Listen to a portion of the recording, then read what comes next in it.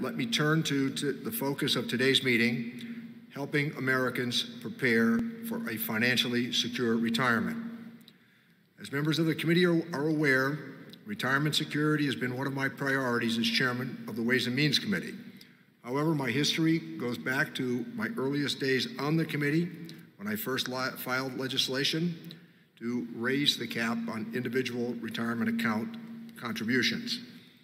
Pushed hard over the years for what successfully became known as automatic enrollment, or as I deem it, enrollment for all. Too many workers in this nation reach retirement age without the savings that they need. In fact, according to the Center for Retirement Research at Boston College, 50% of the households are at risk of not having enough to maintain their living standards in retirement. The retirement crisis is real and will only worsen unless we make saving easier and do more to encourage workers to begin planning for retirement earlier. The lessons of the pandemic are fascinating. Last Congress, this committee had great success in working together to enact the Secure Act, the most significant retirement legislation to become law in more than a decade. Thanks to that legislation, 4 million more Americans now have the opportunity to save at work, and an estimated 600 to 700,000 new retirement accounts will be formed.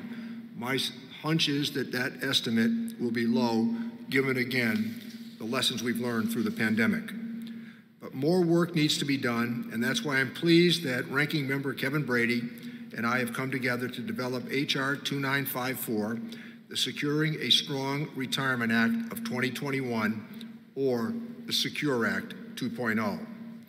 Building on the success of the Secure Act, H.R. 2954 will expand automatic enrollment in 401k plans by requiring 401k, 403b, and simple plans to automatically enroll participants in the plans upon becoming eligible, with the ability for employees to opt out of coverage. Expansion of automatic enrollment will significantly increase participation in retirement savings. Since first defined and approved by Treasury in 1998, at my urging, with some measure, automatic enrollment has boosted participation by eligible employees generally, and particularly for Black, Latino, and lower wage employees. And tellingly, an early study found that adoption of auto enrollment increased participation in 401k plans by short tenure Latino employees from 19% to 75%.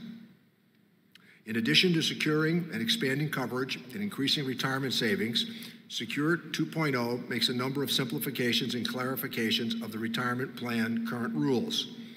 All of these changes will make it easier for the American family to prepare for a financially secure retirement. I'm happy that we were able to work together on a bipartisan basis to develop this important legislation.